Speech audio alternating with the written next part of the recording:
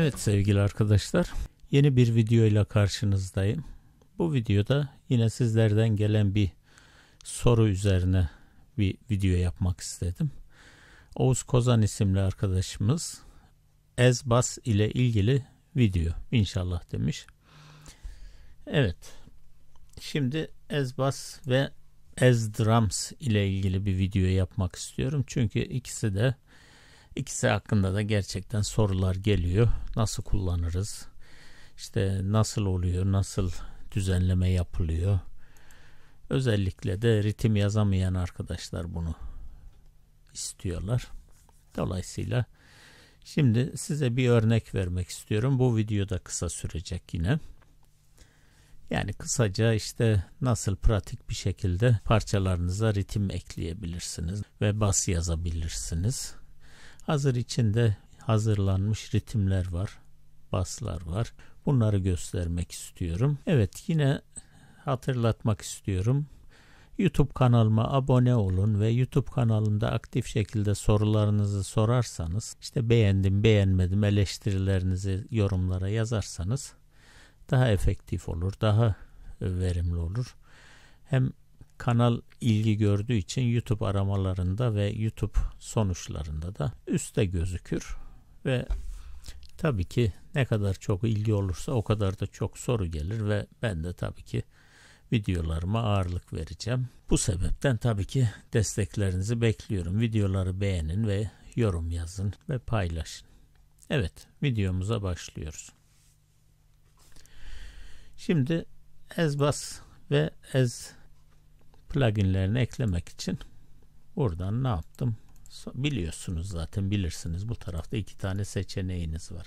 Bir burası var veya VSTI, VSTI buradan şu artıya basarak da buradan da seçebilirsiniz stereo veya mono. Şimdi aslında bası mono yapmanızı tavsiye ederim ama ben şu an öylesine çektim. Tabii ki bataryayı stereo yapmanız gerekiyor.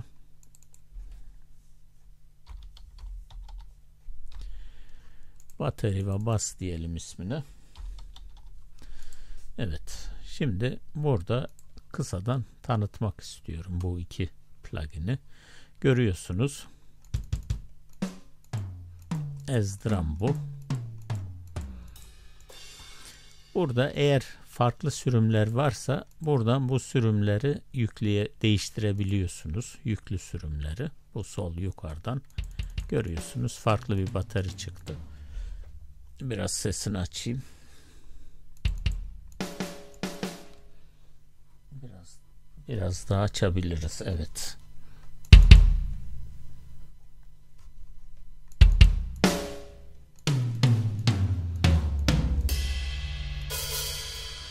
Evet buradan değiştirebiliyorsunuz davul setini. Buradan ise tarzları değiştirebiliyorsunuz. Small rock demiş mesela. Oda ayarı, sound ayarı, ondan sonra buradaki efektler bunlar. Mesela metal bir bakalım. Duyuyorsunuz. Daha farklı bir aynı batarya olduğu halde daha farklı bir şey. Biz şimdi Ez, Ez 3'ü seçelim.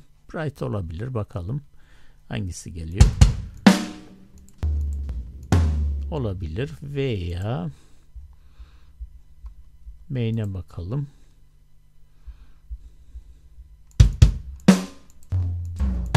Evet kırmızı ve bas gitar. Bas gitarda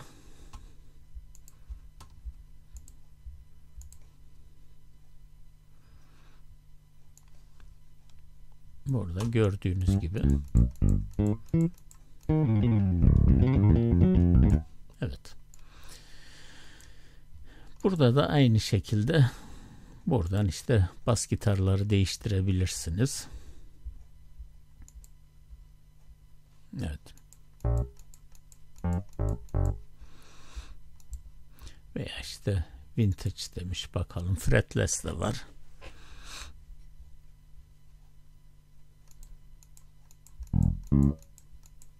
Şu an yüklüyor. Yüklediği için biraz geç sürüyor. Ama biz moderni alalım.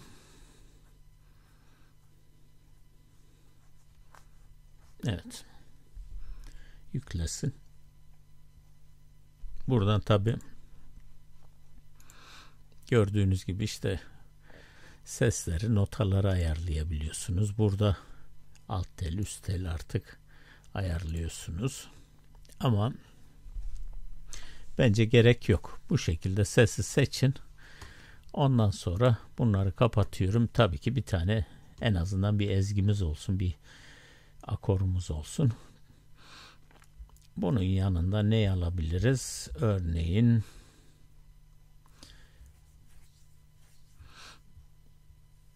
bu ember fena değil.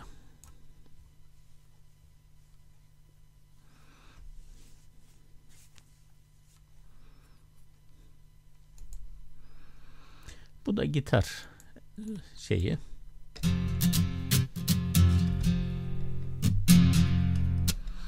Bunun da iki tane seçeneği var. İşte enstrümana getirdiğiniz zaman akoru sol taraftan basıyorsunuz, görüyorsunuz. Tuşlara basıyorum, hareket yok. Bunu basık tutuyorum. Buradan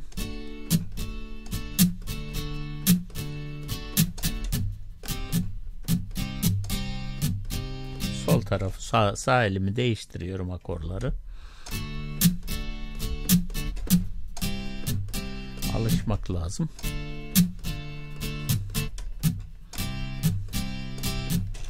Gibi. Evet, şimdi akort kanalı açıyorum. Bu kanalın içine armonileri gireceğim.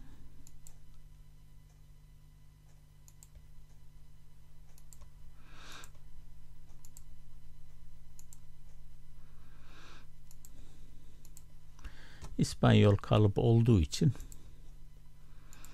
R karardan yaptım. Hatta R değil La yapalım madem öyle.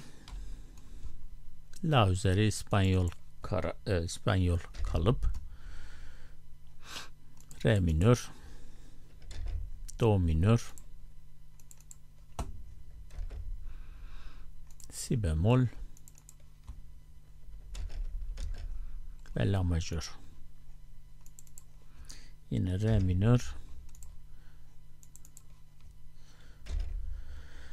Do majör Si bemol majör ve La majör. Evet. Şimdi bu tabii ki Re e, Do yani eğer sizde A C falan yazıyorsa bunu değiştireceğiniz yer işte ayarlara gidiyorsunuz. Bu ikinci e, seçenekten ayarlara gidiyorsunuz. Ayarlarda neredeydi? Evet. Akordu ve ton höyün diyor. Burada muhtemelen sizde İngilizce yazıyordur. İngilizce bunu kabul ettiğimizde gördüğünüz gibi D, C diye yazıyor. Buradan solfeje getirirsiniz. Solfeje getirdiğiniz zaman bunu da göstermiş olayım tekrar. Ve şimdi bakın hiç e, akort şeyi atmadan bunu buradan düzenleyeceğim. Şimdi ilk önce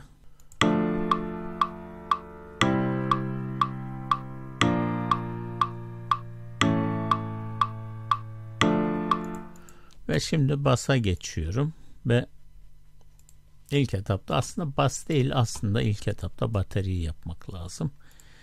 Şimdi orası dönsün. Bir dakika bunu kapatayım. Burası loop şeklinde dönecek. Şimdi bakın bataryada ne yapacağım. Bataryada burada 5 tane seçeneğiniz var. Drums, Grow, Grid Editor, Mixer. Mixer zaten işte e, hem efekt verme hem sağ sol yatırma hem ses gücü bunların hepsini e, şeylere göre yapıyorsunuz. Enstrümanlara göre.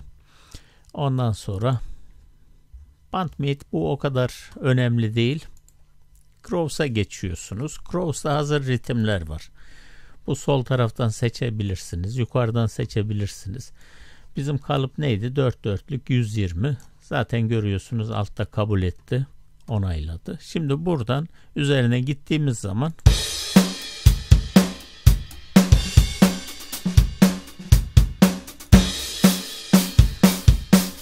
Örneğin değişiklik olsun diye bunu ilk bölüme alalım. Bakalım. Tabii ki buradan çaldırmayacağız. Şuradan projeyle çaldıracağız. Onun için bunu öne getirdim. Bunu da eğer göremiyorsanız ekranı kaplıyorsa F2 tuşuna bastığınızda bu öne çıkar. Bu e, ne diyelim komando şeyi.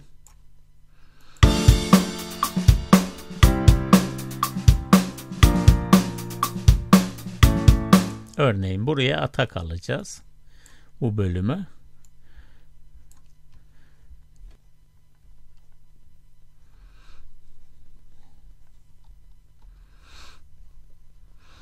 Ve atakı buradan seçeceğiz. Şuradan fili seçiyorum. Filde ataklar çıkıyor Klavyenizin aşağı yukarı tuşlarını kullandığınız zaman bunu çalarken aşağı indirebiliyorsunuz. Biraz sesini azaltayım.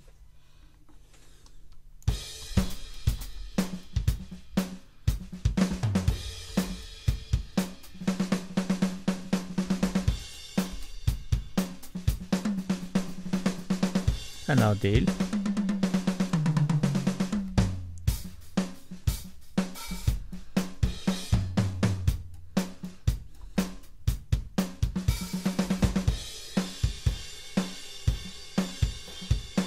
Bir de mezuruna bakmanız lazım. Çok abartılı.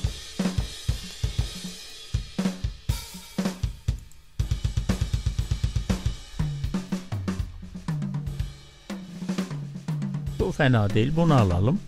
Bir mezur. Gördüğünüz gibi tam oturuyor. Ve şimdi bunları clear al diyorum. Hepsini siliyor ve tekrar başa dönmüş oluyorum. Şunu almıştık.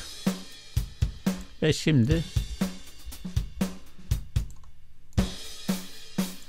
Hangisini almıştık? Hayat tight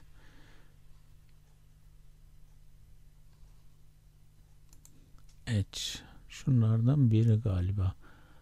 Tight edge. Şunu alalım buraya. Burada da aynı şekilde atak bölümünü baştan dinleyerek gidiyorum. Şeritte görüyorsunuz yürüyor zaten.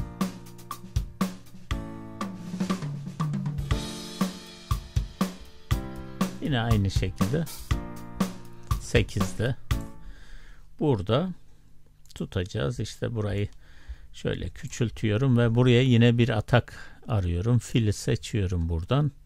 Başta bir tane duymuştuk. Aslında bu da biraz abartılı hoşuma gitmedi ama Şimdi şu anda işte ilk ritmi yazdık. Bakın 3-5 dakika içinde bu iş burada bitti. Gördüğünüz gibi.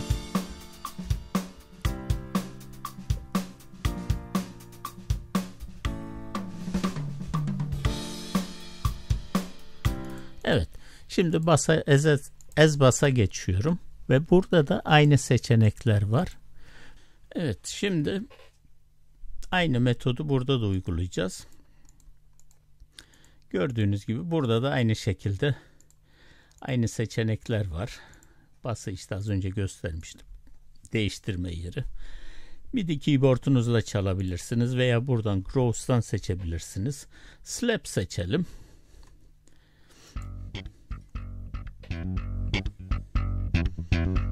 Evet. Bunu buraya alıyorum. Gördüğünüz gibi burada akorlar, armoniler yazmaya başladı. Ve ne, ne yapmıştık? Birer mezur. Ve armonilerimiz belliydi aslında. Neydi? Re. Şurada görüyorsunuz.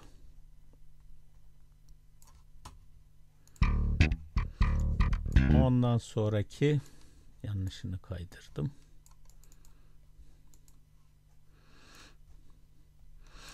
Do yani C ondan sonraki si bemol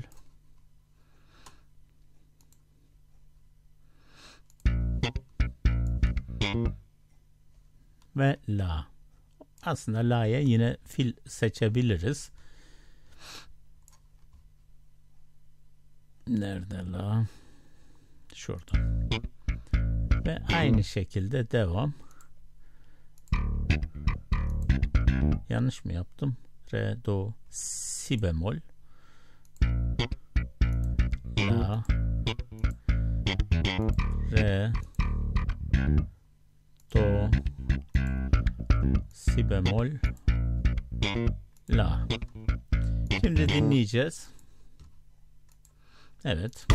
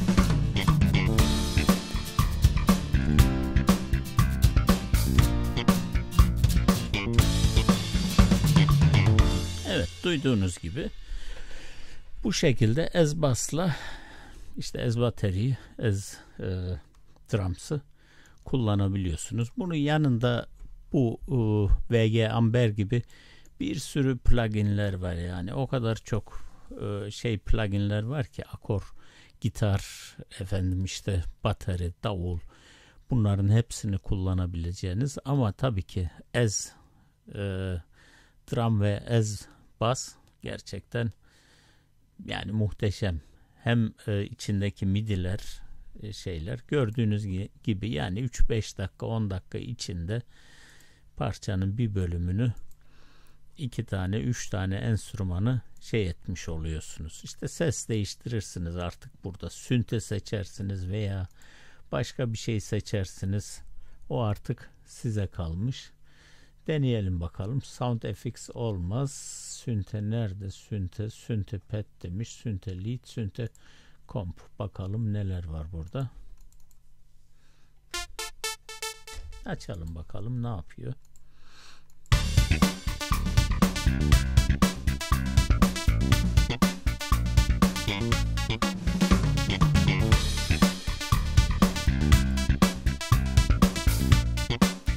Değiştiriyorum.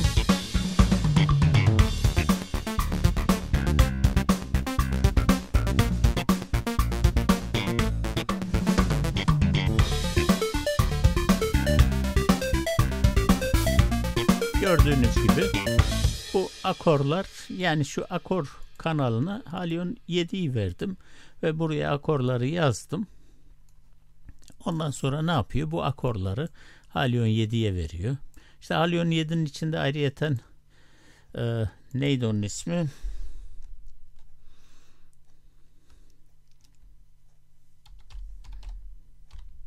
Stram. Stram yazdığınızda çıkar karşınıza.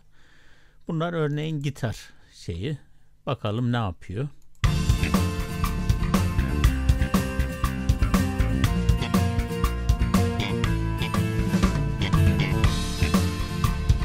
Şuna bakalım.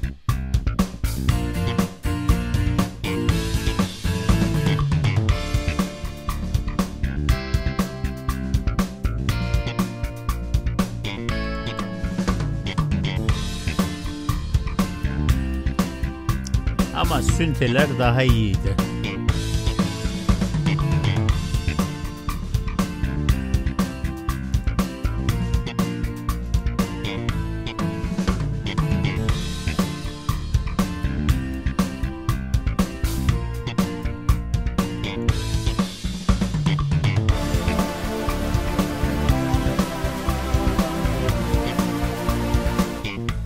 Burada Halion'un üstünden sesini kısabiliyorsunuz.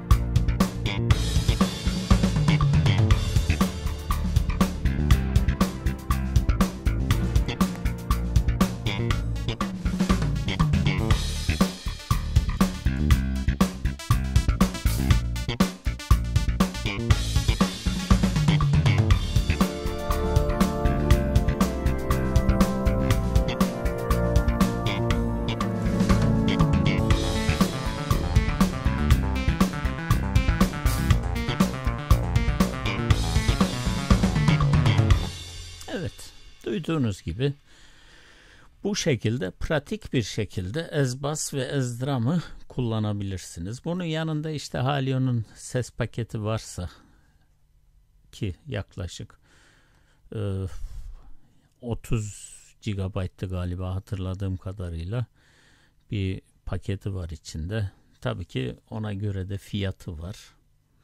Bu VG Amber aynı şekilde, Ezbas aynı şekilde. Yani bu enstrümanlar tabii ki duyduğunuz gibi özel hazırlanmış ve gerçekten yüksek kalite enstrümanlar.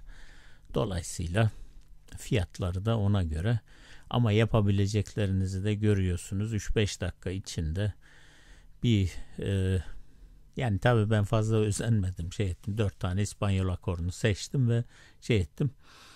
Yani biraz uğraştığınız zaman birkaç saat neler ortaya çıkacağını tahmin edebilirsiniz. Evet değerli arkadaşlar bir videonun daha sonuna geldik. Bir sonraki videoda görüşmek üzere. Tekrar hatırlatayım. Videolara yorumlarınızı esirgemeyin, beğenilerinizi esirgemeyin. Çünkü o şekilde YouTube'da hayatta kalabiliriz. Onun haricinde pek şansımız olmayabilir. Diğer bazı kanallar var kaybolan. Onlar gibi biz de yok olmaya mahkum oluruz. O sebepten tabii ki desteklerinizi bekliyorum. Yani sadece videoyu izlemeyle olmuyor. Eğer gerçekten faydalanıyorsanız bu bilgilerden desteklemeniz de gerekir. Evet, bir sonraki videoda görüşmek üzere. Hoşçakalın.